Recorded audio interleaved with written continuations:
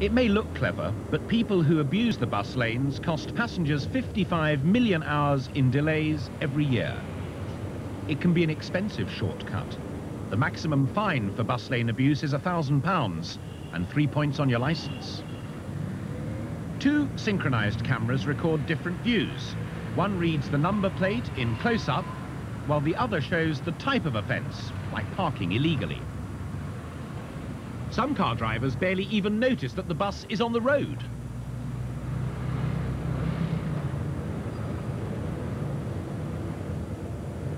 This driver not only abuses the bus lane, he completely ignores the bus right behind him.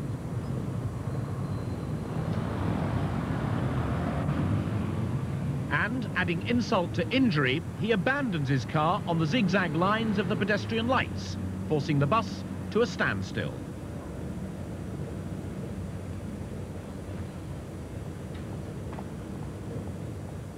And it seems that this learner driver has still got some lessons to learn.